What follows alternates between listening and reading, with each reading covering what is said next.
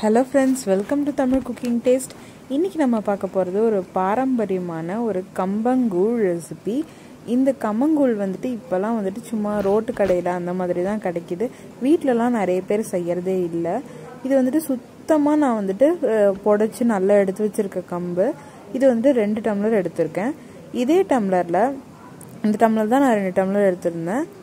நல்லா சுத்தம் பண்ணி வச்சுக்கோங்க. கம்பில் வந்துட்டு தூசி அது மாதிரிலாம் இருந்துச்சுன்னா நல்லா க்ளீன் பண்ணிவிட்டு நல்லா கழுவி வெயிலில் வந்துட்டு ரெண்டு மணி நேரம் நல்லா காய வச்சு எடுத்து வச்சுக்கோங்க. இது அதே மாதிரி தான் ப்ரொசீஜரில் நல்லா காய வச்சு எடுத்து வச்சுருக்கேன். அப்புறம் நான் காட்டியிருந்தேன் இல்லையா அதே டம்ளரில் இதே டம்ளரில் ஏழு டம்ளர் தண்ணி எடுத்து வச்சுக்கோங்க. இது ரெண்டே பொருள் தான் அதுக்கப்புறம் நீங்கள் உப்பு சேர்த்த வேண்டியது இருக்கும். கம்பு வந்துட்டு நல்லா ச சமைச்ச உடனே சாப்பிட முடியாது. சமைச்ச உடனே சாப்பிடலாம். சாப்பிட்றதா இருந்தால் நீங்கள் வந்துட்டு கூழாக சாப்பிட முடியாது உடனே.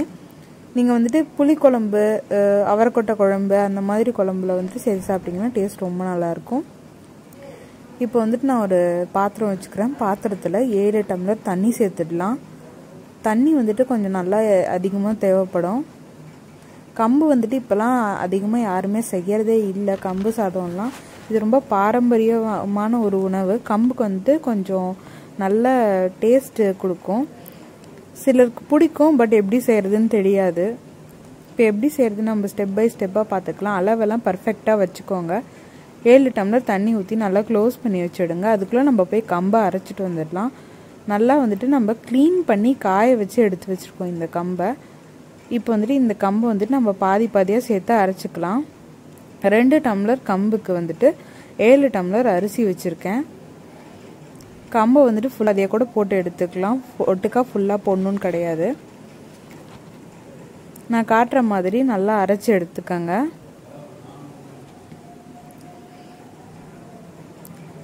கம்பு வந்துட்டு கொஞ்சம் ஹீட்டு தான். ஆனாலும் வந்துட்டு ரொம்ப ஹெல்த்தியான ஒரு இது.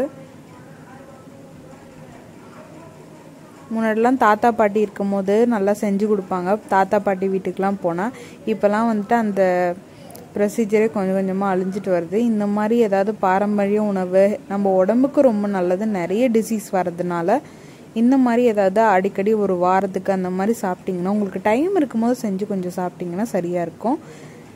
இப்போ இந்த மாதிரி அரைக்கூடாது நல்லா அரைச்சிக்கோங்க. பார்த்தீங்கன்னா இந்த மாதிரி தான் இருக்கணும். முடிஞ்ச அளவுக்கு நல்லா ஓட்டிக்கோங்க. ரொம்ப பொடி பொடியாக இருக்கணும்னு அவசியம் இல்லை. ரொம்ப இதாக இருக்கணும்னு அவசியம் இல்லை. நல்லா அரைச்சி எடுத்துக்கிறோம். இப்போ வந்துட்டு நம்ம காய வச்ச தண்ணி நாம் வந்துட்டு ஏழு டம்ளர் தண்ணி காய வச்சுருந்தோம். அது நல்லா கொதிச்சிருக்கு ஆல்மோஸ்ட்டு நல்லா இந்த மாதிரி பபிள்ஸ் வரணும். இந்த ஸ்டேஜில் கம்பு வந்துட்டு நம்ம அரைச்சி வச்சுருந்தோம் இல்லையா? அது ஃபுல்லாக சேர்த்திக்கோங்க. கம்பில் வந்துட்டு ஒரு மெயின் விஷயம் செய்யறது கொஞ்சம் கஷ்டம்னு எதுக்கு சொல்கிறாங்கன்னா அதை வந்துட்டு கிண்டுறது ரொம்ப கஷ்டமாக இருக்கும்.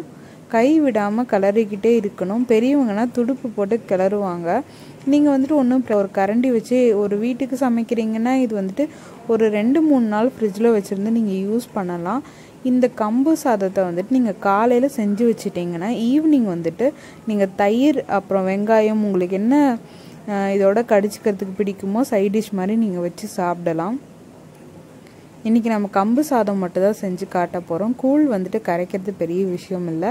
இந்த கம்பு சாதத்தை போட்டு தயிர் தேவையான அளவு தண்ணி சேர்த்துட்டு நல்லா கரைச்சி உங்களுக்கு தேவையான அளவுக்கு வெங்காயம் சேர்த்துக்கோங்க. அவ்வளோதான் இது கரைக்கிறது.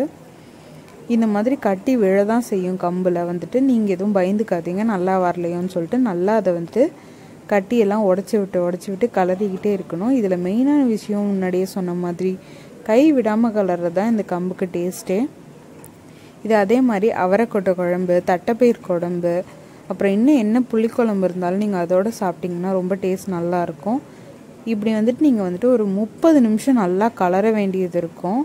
இந்த பக்கம் வர அளவுக்கு கலருங்க. நீங்கள் வந்துட்டு கம்மியான அளவு எடுத்தீங்கன்னா இன்னும் கொஞ்சம் டைம் கம்மியாகிறதுக்கு வாய்ப்பு இருக்குது இந்த இந்த கன்சிஸ்டன்சி வர வரைக்கும் நல்லா கலக்கிக்கோங்க. அப்பயும் அந்த கட்டி இருக்குது பார்த்தீங்களா அந்த மாதிரி இன்னொரு ஸ்பூன் இன்னொரு கரண்டி வச்சு நல்லா இந்த மாதிரி எடுத்து கட்டியெல்லாம் கொஞ்சம் கொஞ்சமாக உடச்சி விட்டுக்கோங்க. இப்போ ஆல்மோஸ்ட் நம்ம கட்டியெல்லாம் இல்லாமல் எடுத்து விட்டுட்ருக்கோம். அவ்வளோதாங்க கம்பு சாதம் ரெடி ஆயிடுச்சு. இதை வந்துட்டு அப்படியே மூடி வச்சுருங்க. ஒரு நாலஞ்சு மணி நேரம் கழித்து நீங்கள் தயிர் சேர்த்து தயிரும் தேவையான அளவு தண்ணி சேர்த்துக்கிட்டு கரைச்சி குடிச்சிங்கன்னா அவ்வளோதாங்க கம்மங்கூழ் ரெடி இதை அப்படியேவும் நம்ம சாப்பிடலாம். இப்போ தேவையான அளவு உப்பு சேர்த்து இறக்கிடலாம் அவ்வளோதான் இதை வந்து நம்ம அப்படியேவும் சாப்பிடலாம். என்ன குழம்பு உங்களுக்கு தோதான குழம்பு இருந்துச்சுன்னா நீங்கள் இது அப்படியேவும் சாப்பிடலாம். பிடிச்சவங்க சாப்பிட்லாம் பெரியவங்கலாம் சாப்பிடுவாங்க. குழந்தைங்களாம் சாப்பிட்றது வந்துட்டு கூழ்னா கூட அது டேஸ்ட்டு குடிச்சுக்குவாங்க. அவ்வளோதாங்க இந்த ரெசிபி முடிஞ்சிச்சு. இந்த ரெசிபி